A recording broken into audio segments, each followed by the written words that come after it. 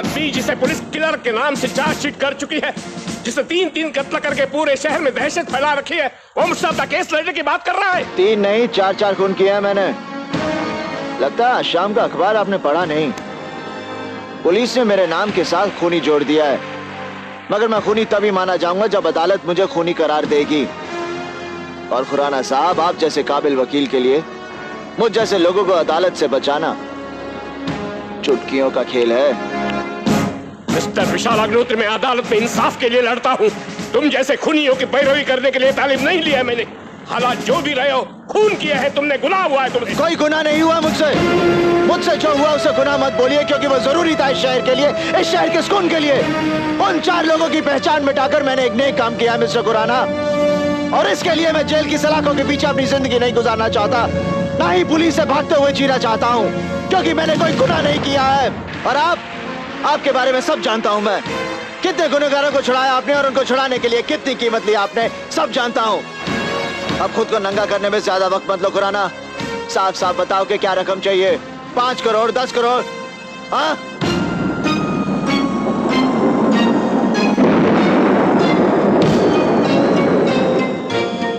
शराब पियोगे? मैं शराब नहीं पीता। मिस्टर विशाल तुमने अपने केस के लिए जो कीमत लगाई है उससे मुझे इतराज नहीं है।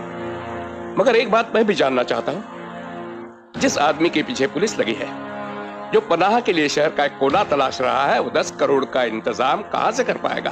खुराना साहब अगर मैं बदनाम हुआ हूँ तो थोड़ा सा नाम भी कमाया है। पैसे आपको मिल जाएँगे। ठीक है तुम अपना कमिटमेंट पूरा करो और पुलिस को सरेंडर करो।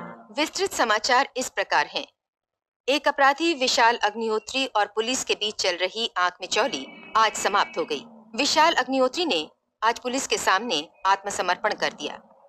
इस अपराधी को चार बड़ी हस्तियों के कत्ल के मामले में चार्जशीट किया गया था और पुलिस इसकी तलाश में थी। मिस्टर खुराना विशाल का पुलिस के आगे सरेंडर करने का क्या यही मतलब है कि उसने ही खून किए हैं? आप गलत समझ रहे हैं। विशाल के सरेंडर करने के पीछे ये है कि वो फ़िलहाल की परेशानियों से बचना चाहता है। सर आप अब तक अपने करियर में कोई केस हारे नहीं। इस केस में तो पुलिस पुलिस के फ़ाइल में नाम चढ़ना इसका मतलब ये नहीं कि वो खूनी हो जाता है। इसका फैसला अदालत करेगी।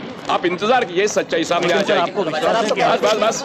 One last question sir I am sorry no more questions no more questions ये पेपर्स तुम्हें साइन करने हैं विशाल। कोर्ट में तुम्हारे केस को दाखिला तो मिल गया है। सात तारीख मिली है पहली सुनवाई की। मेरे ख्याल से ये मामला चार तारीखों तक खींचेगा। मैंने तुम्हारी क्राइम ब्रांच शिफ्ट करवाने के ऑर्डर्स कैंसिल करवा दिए हैं। अब तुम यही रहोगे। यहाँ कुछ ऑफिसर्स हैं मेरे पहचान के। वो तुम्हारा खास ख्याल रखेंगे बस, अब तुम यहाँ कुछ गड़बड़ मत करना। तैश में अगर तुम्हारा खुद पे काबू तो रहता नहीं, और मैं नहीं चाहता कि तुम्हारी चार्जशीट में कोई नई बात जुड़े। पहली कुछ तारीखों में मैं तुम्हें कोर्ट में हाजिर नहीं कर रहा हूँ। मैंने तुम्हारी मेडिकल रिपोर्ट्स लगा दी है। हो सकता है, पुलिस का कोई मेडिकल ऑफिसर तुम्हें एग्जामिन करने आए तुम उसके साथ आप बेफिक्र रहिए खुराना साहब। मैं यहाँ कोई गलती नहीं करूँगा। मैं भी नहीं चाहता कि मेरी चार्जशीट में कोई छोटी मोटी बात जुड़े। आप मुझे लेकर ऐसे ही परेशान हैं। हाँ विशाल। मेरे करियर का पहला किस्सा है जिसे लेकर मैं वाकई परेशान हूँ। ज़िंदगी में कभी शिकस्त नहीं देखी? शायद ये भी वजह हो सकती है। खुराना साहब आपकी काबिलियत पर आपसे ज़्यादा मुझे भरोसा है। ये केस आप ही जीतेंगे। यकीन कीजिए इस केस के बाद कानून के इतिहास में आपका नाम याद रखा जाएगा। भाई खुराना साहब ने तो कमाल ही कर दिया। पिछली तारीखों में क्या पुलिस की धज्जियाँ उड़ाई हैं उन्होंने? अरे खुराना साहब जैसा वकील कभी कोई केस आ सकता है क्या? हाँ सही बात।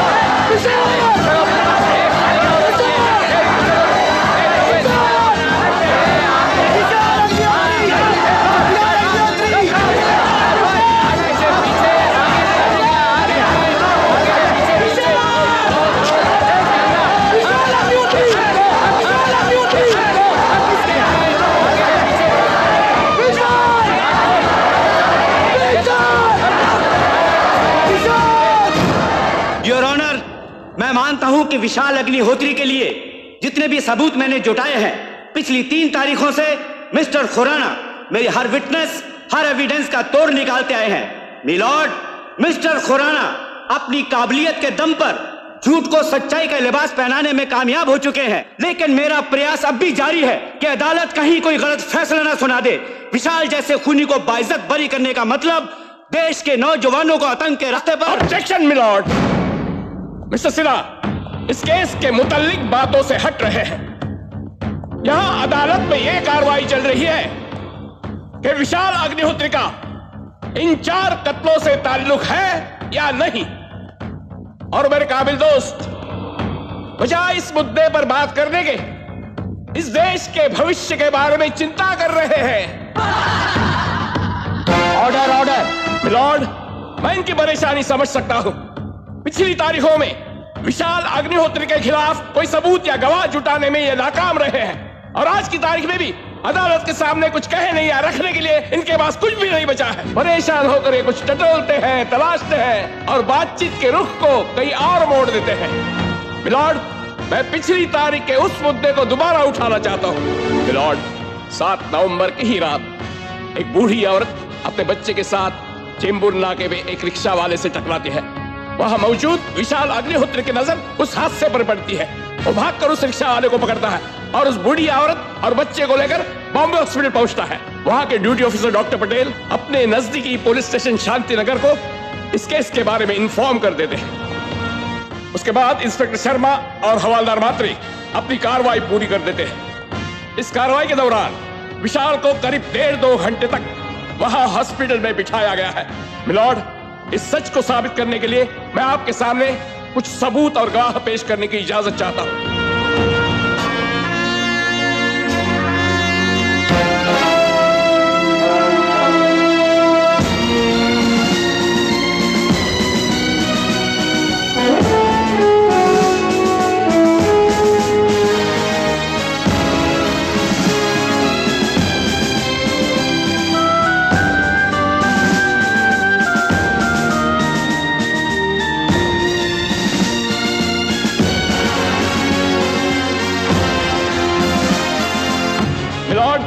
पूरी तरह साबित हो चुका है कि मेरे मुवक्किल का इनमें से किसी भी एक कत्ल में कहीं कोई हाथ नहीं है। अब ये सवाल उठता है कि ये बेकसूर नौजवान अपने सर पर चार चार खून के इल्ज़ाम लेकर इस अदालत में क्यों खड़ा है?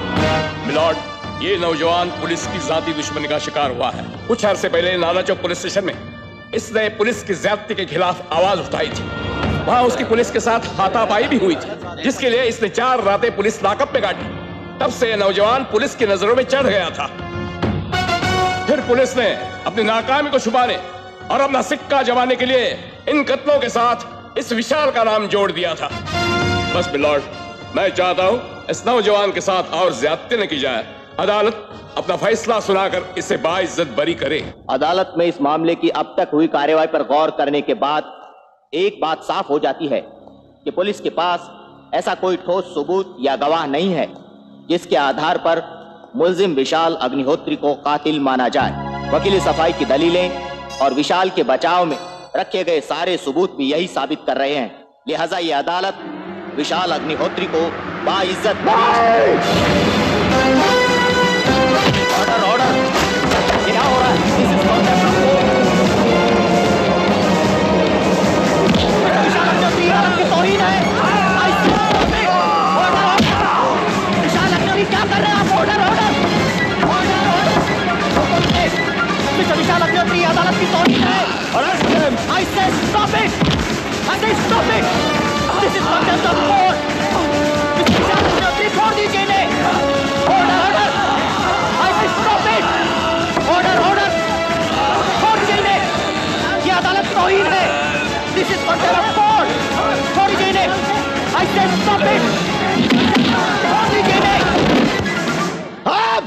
नहीं भागूँगा यहाँ से, नहीं भागूँगा यहाँ से, भागूँगा नहीं। मैजिस्ट्रेट जयवन डोगरा साहब, जगदीश खुराना की लाश पड़ी है यहाँ पर, मार दिया इसे मैंने। और आप आप ये कुर्सी छोड़ दो। आपको इस कुर्सी पर बैठने का कोई हक नहीं। अरे बचा लिया आज मैंने आपको। एक गलत फैसला सुनाने जा रहे थे आप। और ये ये जगदीश खुराना इसने इस अदालत में यह साबित कर दिया कि मैंने कोई कत्ल नहीं किया। बेकसूर हूँ मैं। नहीं! मैंने एक नहीं, चार चार खून किया मैंने। और ये बात ये बात ये भी जानता था। अरे अदालत में आने से पहले इसने सब कुछ जान लिया था मुझसे। इसे मालूम था कि मैंने किसे कब, कहा और किस हाल में मारा है। इसने मुझसे पूछा था कि गोली मैंने कितनी दूरी से चलाई थी। और वो गोली सीने में लगी थी या सर में। जिसका गला दबाकर मैंने मारा था, उसके मुँह से खून निकला था या नहीं? उसकी आँखें खुली थी या बंद? ये सब सब ये जानता था। कुछ समझ में आ रहा है मैजिस्ट्रेट जयवन डोगरा साहब? कुछ समझ में आ रहा है? दस करोड़ रुपए लिए थे इसने मुझे बचाने के लिए। जगदीश खुराना, कानून का हिमायती नहीं। कानून के बाज़ार में अपनी दुकान चलाता था। मैंने कानून से बचने के लिए नहीं। कानून की आँखें खोलने के लिए अपना केस इसके हाथों में दिया था। यह अदालत है। इंसाफ होता है यहाँ पर। सच्चाई और झूठ की परख होती है यहाँ पर। नहीं, यहाँ पर कुछ नहीं होता। सिर्फ़ बहिष्कार होता है, बहिष्कार। कानून का बहिष्कार। हर अदालत में जगदीश खुराना जैसे लोग करते हैं बहिष्कार। और हर अदालत में ऊंचाई पर इनके जैसा ही एक आदमी बैठा होता है। ऐसे ही और बैठे होते हैं, ये ये ये ये सब तमाशबिन लोग। पूरा तमाशा मज़ा लेकर देखते हैं। इनके लिए अदालत की कार्रवाई हो या मदारी का खेल? बस, मज़ा आना चाहिए, मज़ा। क्यों? आ रहा है ना मज़ा? मज़ा लो, मज़ा। कुछ समझ में आ रहा है, मैजिस्ट्रेट जयवन डोगरा साहेब? अरे अगर तमाशा ही करना तो इतने बड़े तामझाम, इतनी बड़ी जगह की क्या ज़रूरत है? अरे बंद करो ये सब कुछ। बंद करो। बंद करो ये दुकान। बंद करो। और आप हाँ हाँ ले चलो मुझे। ले चलो मुझे काल कोठरी में। लेकिन मैंने जिसे भी मारा है वो सब इसके जैसे थे। ये हरामी जैसे लोग थे वो सब कुछ समझ में आ रहा है मैं जैसे जयवन डोगरा साहेब। कुछ समझ में आ रहा है? अरे कुछ समझ में आ रहा है आपको? हाँ?